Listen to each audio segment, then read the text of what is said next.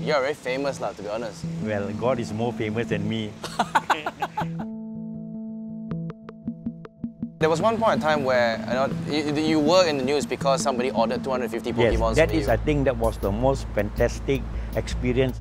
This man made a call to me. I'm from Seremban. I want to support you. Please keep 250 uh, Pokemons for me. I'll be coming here at 2 o'clock in the afternoon. So I had the 250 Pokemons put aside here. People came to buy. My stocks was getting low.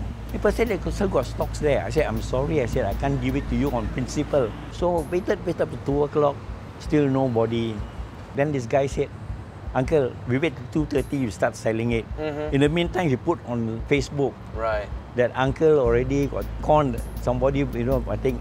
And I didn't know suddenly when he put on Facebook, people started coming. You won't believe me, I sold about, if I'm not wrong, 170 to 180 within two hours. Wow. So it's, it's safe to say that, you know, in Malaysia, you have a lot of people who are always very caring. Very normal for Malaysians to be of that character already.